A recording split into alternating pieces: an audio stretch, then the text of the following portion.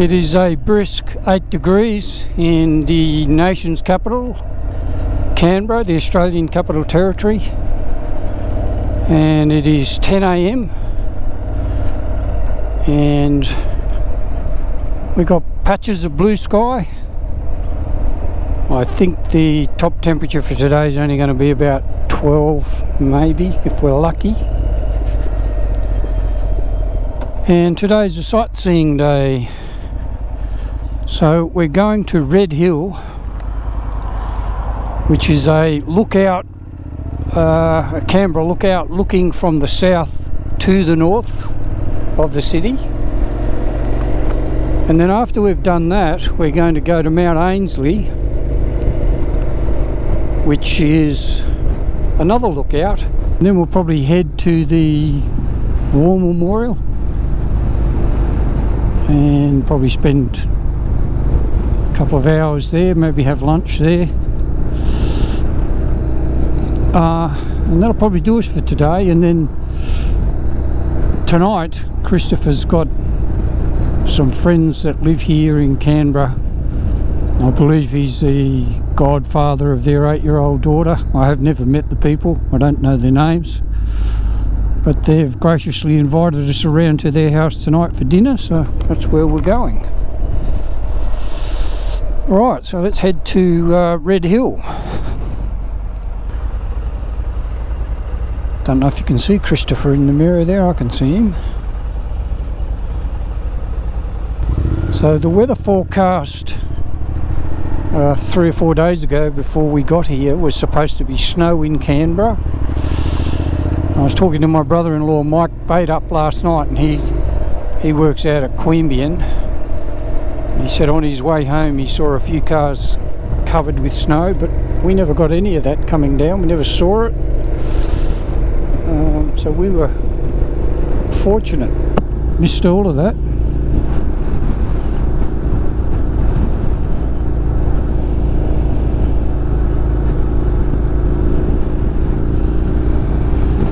Well, this is bus lane, but I, sometimes I'm not quite sure of the road rules here, but in Queensland, um, motorcycles can use bus lane. I'm not sure here in the ABC, the ABC, in the Australian Capital Territory, ACT. So we've missed the morning peak hour. Not that it'd be much anyway, because they're fantastic roads here in Canberra. And, uh, don't really think they'd have too much in the way of traffic, traffic jams.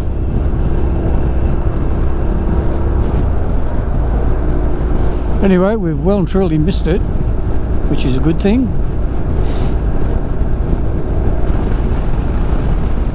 And we watched the Rugby League State of Origin last night between Queensland and New South Wales. And Mike, uh, brother-in-law Mike Bait-up was born in Queensland, although he's raised in New South Wales, but he's born in Queensland. So he's a Queensland supporter and I was born in New South Wales and live in Queensland and I'm a New South Wales supporter. And I'm very pleased to say New South Wales wiped the floor with Queensland. The score was 50 points to 6 8 tries to 1 but I won't gloat too soon because day 2 of the 3 day 3 match origin series it's the most intense sporting rivalry in Australia. New South Wales versus Queensland Rugby League. Game two is in Brisbane, which is the capital of Queensland, at Suncorp Stadium, the home of Queensland Maroons, and they'll be hard to beat there. They usually win there. so if they do win, uh, game three is in Sydney, Queensland win. It's one all. And they'll have the decider in Sydney. And uh, New South Wales should be favourite to win there. Anyway, regardless of the outcome of match two, they're always going to play uh, three games. And very rare it's a clean sweep to either team. It's usually 2-1. It's that close. So we shall see. Alright, so we are 2.5 kilometres from our destination of Red Hill Lookout.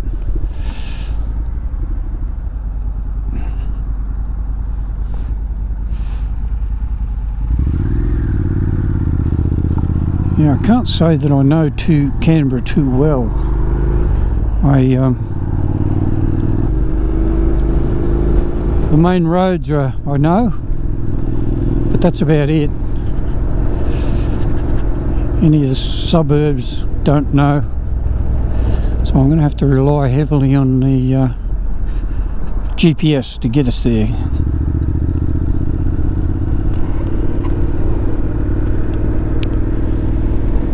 And for those viewers that um, uh, non-Australian, uh, the Australian Capital Territory (ACT) is um, Australia has six states and two territories, and the ACT is one of the territories. The other one is the Northern Territory.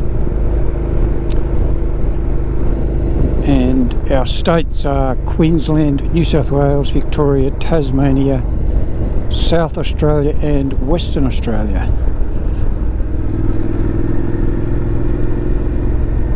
And so the ACT, Australian Capital Territory, is a separate, has its own government, uh, government, territory government,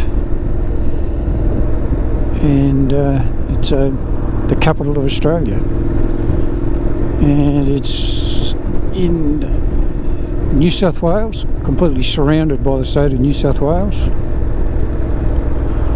And the site of the city was chosen.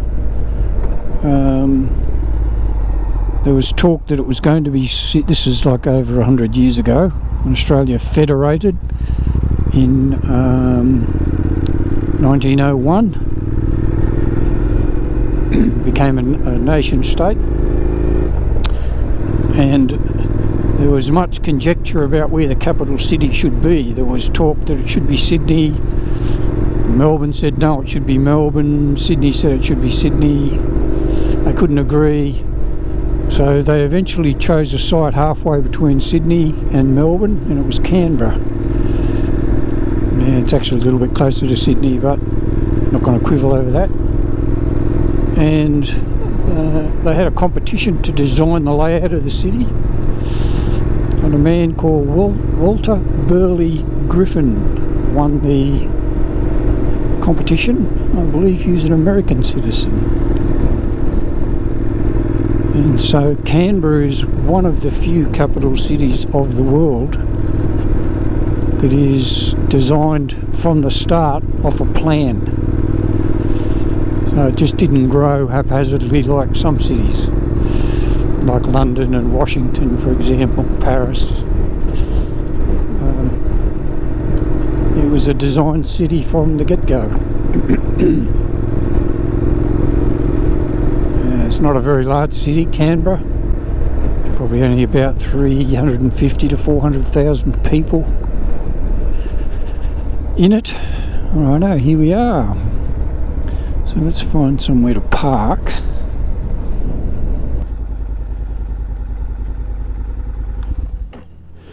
Alright, let's get off and take some photos of uh, Red Hill Lookout see what we can see. Well, this is Red Hill Lookout on the southern side of Canberra, looking north. There's Christopher taking a photo and a coffee shop and here's our bikes and it's a chilly 8 degrees but it's uh, occasionally sunny and no rain forecast so it's quite pleasant on the bike so let's go down here and check out a bit more of the view. Parliament House over to the left, just there. And directly opposite across Lake Burley Griffin, the avenue that leads up toward the mountain is the Australian War Memorial. And uh, Mount Ainslie Lookout is over behind the War Memorial. We'll head over there later.